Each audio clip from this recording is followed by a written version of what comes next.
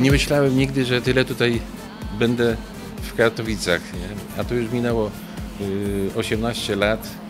Dzisiaj jest y, impreza sylwestrowa. Bardzo mi przykro mówić, to ostatnia, m, którą organizujemy dla y, Katowic, dla młodzieży.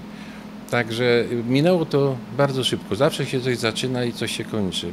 Jest to dla mnie w ogóle rozmowa bardzo przykra, bo y, ładnie się mówi, jak się zaczyna, jak się kończy, tym bardziej, że y, byliśmy zawsze dla ludzi tutaj otwarci, byliśmy y, konsekwentni i uważam, że wstydu Katowicom nie przyniosłem.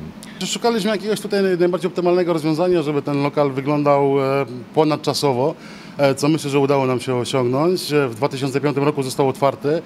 No, pociągnął parę lat, e, później niestety e, ze stylu takiego industrialnego, bo tu wcześniej były cegły, były rury, e, otworzyła się konkurencja, która też była kolorowa.